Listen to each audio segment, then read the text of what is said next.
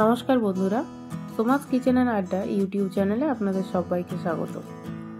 আশা করি সবাই খুব ভালো আছেন। তো আজ আমি আপনাদের সাথে খুবই মজাদার একটি রেসিপি শেয়ার করব। আজ আমি বানাবো খাসির মাংসের চর্বি দিয়ে ঘুগনি। ঘুগনি বানানোর জন্য আমি দেড়শো গ্রাম পরিমাণ মটর, ছ থেকে সাত ঘণ্টা ভিজিয়ে রেখেছি আর দুটি বড় সাইজের আলু একটু বড় বড় পিস করে কেটে নিয়েছি। সব কিছু একটি প্রেসার কুকারের মধ্যে নিয়ে পরিমাণ মতো জল ও লবণ দিয়ে সেদ্ধ করে নিচ্ছি।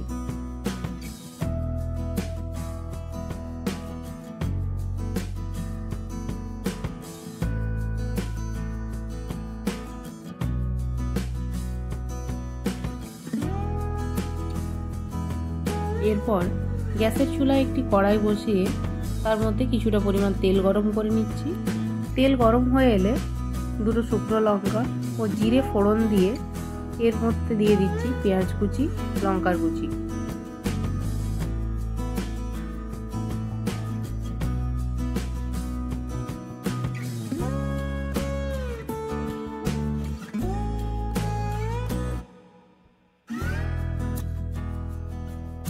পেঁয়াজগুলো আমি ভালোভাবে ভেজে নিচ্ছি। পেঁয়াজগুলো ভাজা হয়ে এলে আমি এর মধ্যে দিয়ে দিচ্ছি একটি বড় সাইজের টমেটো কুচি।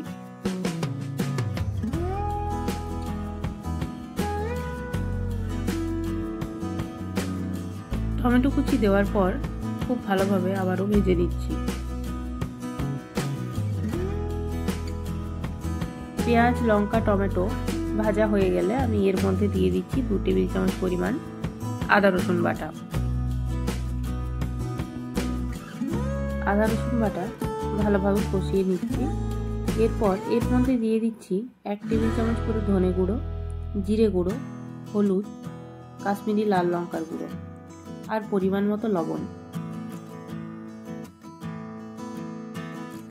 এর মধ্যে অল্প একটু জল দিয়ে ভালোভাবে কষিয়ে নিচ্ছি।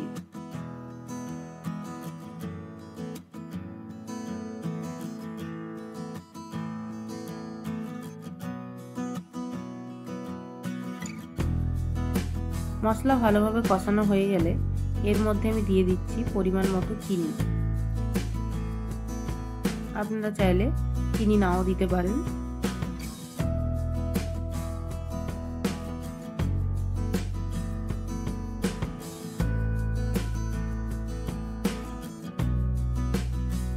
চিনি ভালোভাবে মিশিয়ে নিয়ে এর মধ্যে আমি দিয়ে দিচ্ছি হাফ টেবিল চামচ পরিমাণ গরম মশলার গুঁড়ো।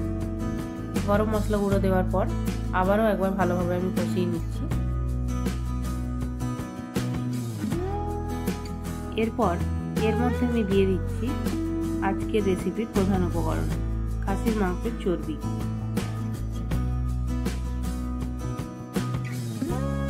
আমি এখানে প্রায় দেড়শো গ্রাম মতো মাটনের ফ্যাট ইউজ করছি। খুব ভালো করে এটি মশলার সাথে মিশিয়ে নিতে হবে।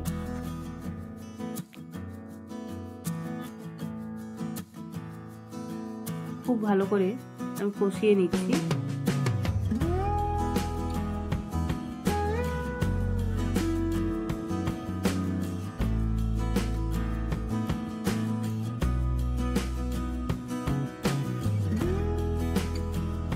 খুব ভালো করে কষানো হয়ে গিয়েছে।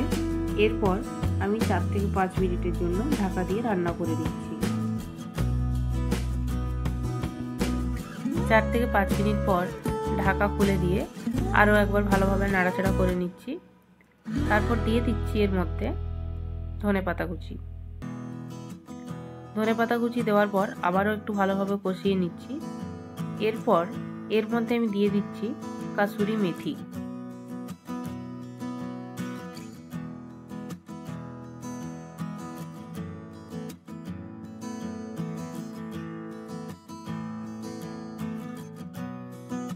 সব কিছু খুব ভালোভাবে কষিয়ে নিয়েছি।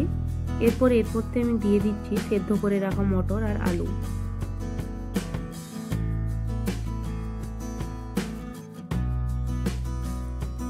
ভালোভাবে নাড়াচাড়া করে সব কিছু আমি আবারও খুব ভালোভাবে মিশিয়ে নিচ্ছি।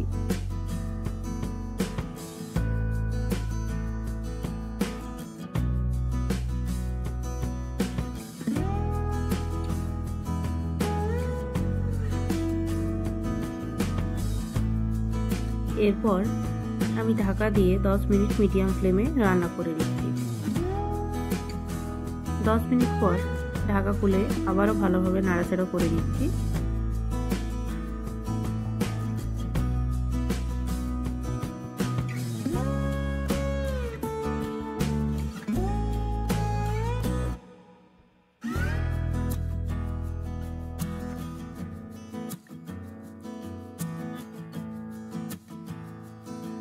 আবারও একবার ভালোভাবে নাড়াচাড়া করে আমি গ্যাসের ফ্লেম অফ করে দিচ্ছি।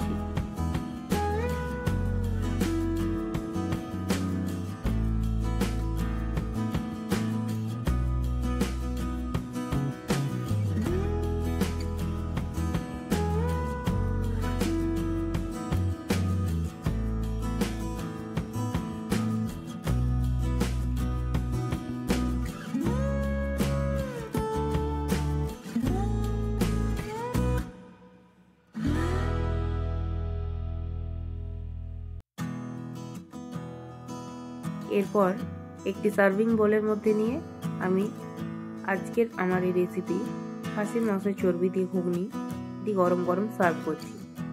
এই রেসিপিটি রুটি, লুচি সব কিছুর সাথে খুব ভালো লাগে।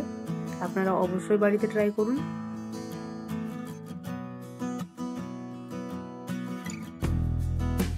আমার এই রেসিপিটি আপনাদের ভালো লেগে থাকলে অবশ্যই লাইক শেয়ার করবেন। আর চ্যানেলে নতুন বন্ধু হয়ে থাকলে চ্যানেলটি সাবস্ক্রাইব করে পরবর্তী ভিডিও সাথে সাথে পাওয়ার জন্য বেল আইকন অবশ্যই অল প্রেস করে রাখবেন। ভালো থাকবেন, সুস্থ থাকবেন, দেখা হচ্ছে পরবর্তী ভিডিওতে। ধন্যবাদ।